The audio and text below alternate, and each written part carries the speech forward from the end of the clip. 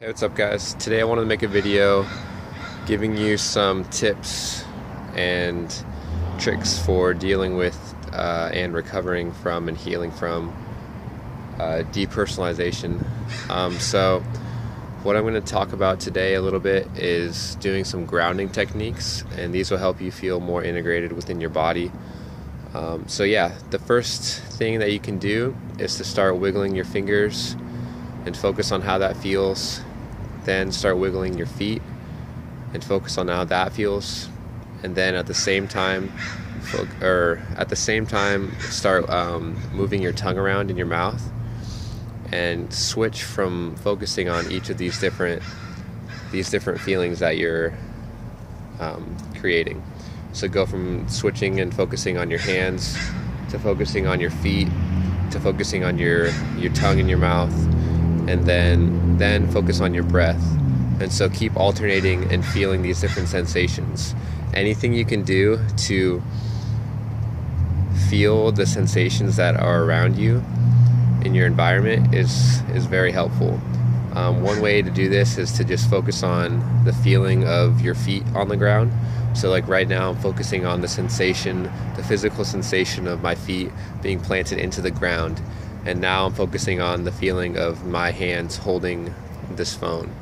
And so there's all these different ways that you can activate these different pathways and feel more integrated within your body and feel more um, security and grounded within the environment. Um, another tip that I don't know if it's necessarily a grounding technique, but it's to focus on one object. Sorry, it's really cold out. My throat's been getting a little bit cold and weird. But um, you can focus on one object. So, say I pick um, something on the floor over there, or something on the ground over there. Um, I can focus on that, and then as I'm focused and staring on that, staring at that object, I can look in my peripheral vision at other objects and focus on things outside of my focus and this will help with your depth of your depth perception. Um, and that's a really useful technique. Um, so focusing on things that are not in your direct focus but outside in your peripheral vision. Um, another thing to do is to try to feel where your body is in relationship to um, itself.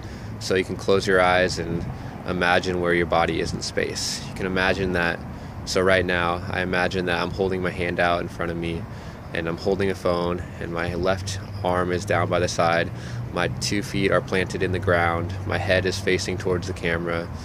And you can also take it a step further and you can um, try to imagine what the surrounding environment looks like. So, right now, I close my eyes. I'm standing in a parking lot. To my left, there's a bus station. To my right, there's a street. Right in front of me, there's a building. Behind me, there's some apartments. And yeah, so this is a great way to feel more integrated within the environment. And these are great grounding technique techniques that you can do daily to feel more integrated. So, thanks for watching. I'll see you guys later.